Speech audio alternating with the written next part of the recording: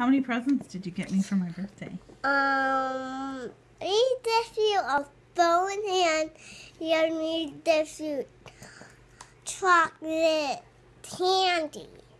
You're not supposed to tell me that. I didn't. I asked how many things you got me. We don't have five.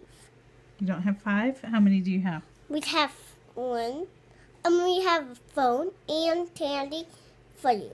It's it's, it's not that.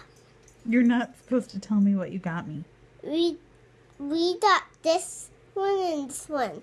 We got phones and we got and we got phone cases and we got candy for you. You're not supposed to tell me that. It's supposed to be a surprise. Oh, look it. Look it. Did you get me soap?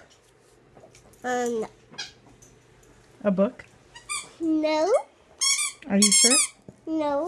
It's a sweet gift. It's a what? Sweet gift. You're supposed not to tell me it.